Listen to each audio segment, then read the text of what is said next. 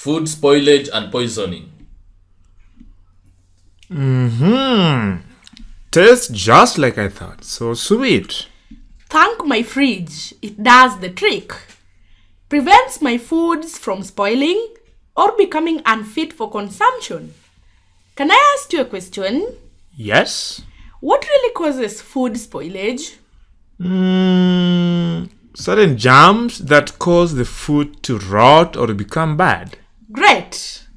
We have two categories of food spoilage that you should know aerobic and anaerobic food spoilage.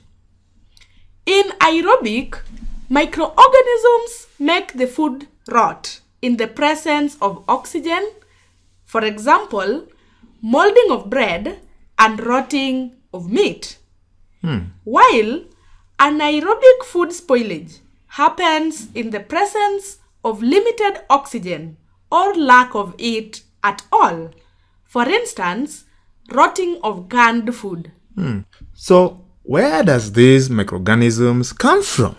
Basically, food spoilage is caused by chemical changes that occur in the food due to a number of reasons. Like? Hey, patience, boy. I got you. All right. Oxidation of chemicals found in fatty foods can easily cause rotting of foods. Also, agrochemicals that are usually sprayed on plants contain chemicals that can lead to food spoilage.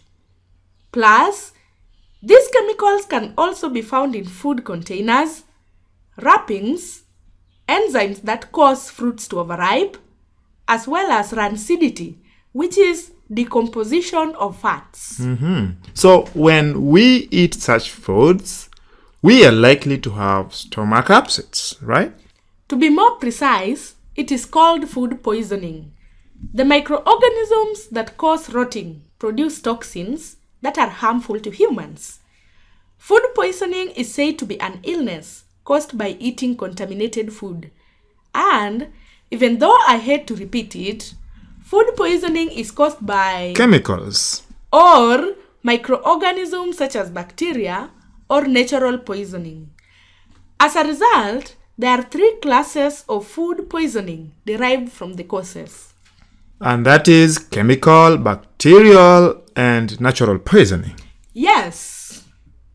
Chemical poisoning is caused by agrochemicals, kerosene, detergents, and dry cleaning agents, That's easy. And bacterial poisoning is caused by bacteria. which enters into the human body when you eat contaminated food. The bacteria inhabit the alimentary canal where they multiply to cause harm. It is the major cause of vomiting as a result of food poisoning. And this is the more reason proteinous foods should be stored under conditions where harmful bacteria cannot thrive. I'm really enjoying myself, Nancy. Mm-hmm. It follows that natural poisoning is caused by nature, right? Now you are turning into a comedian. Natural food poisoning is generally caused by natural poisons formed especially in poorly stored grains.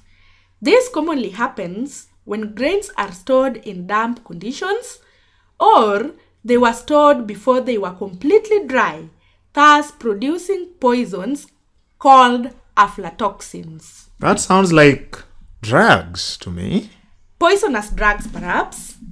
Aflatoxins are caused by a mold fungus found in agricultural products that have been poorly stored. Hmm. While we were chatting about poisoning, my mother mentioned that foods like cassava can be poisonous. Yep. The pith of the cassava, to be specific. Hmm. Did she also discuss the symptoms of food poisoning? Yes, Would you like to share? my pleasure. Aha. Someone who has had food poisoning might vomit, mm-hmm. or diarrhea, or do both. He has severe abdominal pain or stomach aches, has fever, feels weak, and dizzy. I am beginning to wonder why you had to come. One more time. Did she also tell you how to prevent food poisoning? Oh my! Still very fresh in my mind. Always check the expiry dates of food before buying them. Buy food from clean markets and vendors. Store foods properly to avoid spoilage by ensuring the food stores are clean, spacious, and well ventilated. Plus, kitchen waste should be kept away from foods. Should I continue? Yes! I didn't ask you to stop. You also say that fruits should be washed thoroughly before they are eaten. Yes, I did. I also think leftovers should be cooled completely and stored under low temperatures. Uh huh. And reheating cooked food is not a very good idea, I guess. Good guess. And to wrap this up, before we get ourselves something to eat, frozen foods should be thawed before cooking. What's the science behind doing that? This will ensure that the heat penetrates the food adequately mm-hmm. in order to kill any hiding germs. Well, it's time to cook. As my special guest, I am going to prepare beef and ugali, if that is okay with you. Don't forget vegetables for a well balanced diet. And a glass of milk, all fresh from my big fridge. Are you intentionally introducing a subject for our next discussion? Perishable and non perishable foods. I thought so, but first, we cook. Yes, we do.